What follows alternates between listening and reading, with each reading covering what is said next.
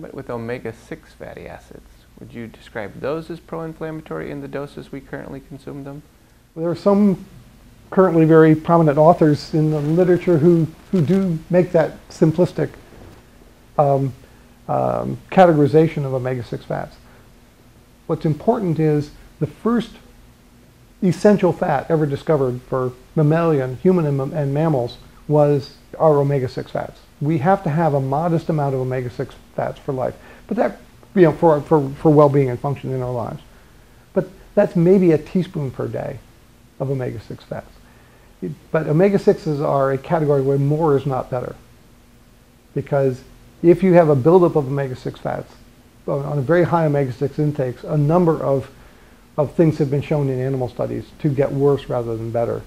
Um, so um, you almost can think of omega-6s and omega-3s as a teaspoon each per day. If you're eating a very low-fat diet, those two teaspoons of fat are a fairly prominent component of your diet because you're eating so little fat. Say, you know, 10 tablespoons of fat per day. Two teaspoons is a fair amount. But at the other end of the scale, where someone like me is eating over a thousand calories of fat, that's well over 100 grams of fat per day. Um, you know, that two teaspoons is a very small proportion uh, of, of my daily intake. So do you necessarily recommend that people proactively try to limit omega-6 fatty acids or not necessarily? If you're on a, in a maintenance phase where fat is necessarily a significant, if not major part of, of your total daily energy intake, one should steer clear of rich sources of omega-6s to avoid getting too much.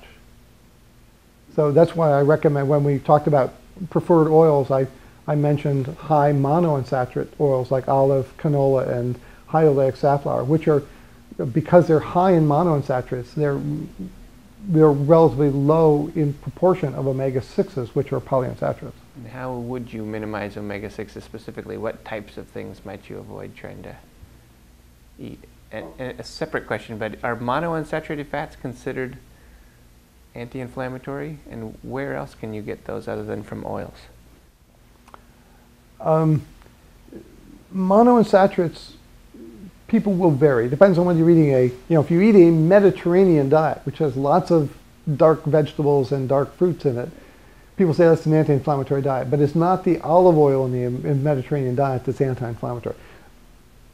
The monounsaturates tend to be relatively neutral in terms of inflammation and inflammatory responses in the body. Um, and the way to limit to not get too much omega-6 fat is to stay away from the vegetable oils that are very rich in omega-6.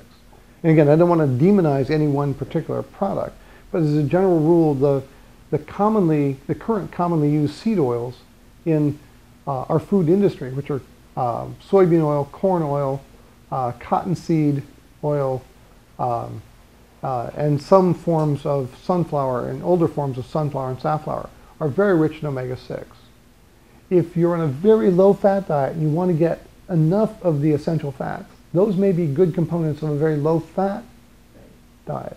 But if you're on a high fat diet, those would not be the preferred.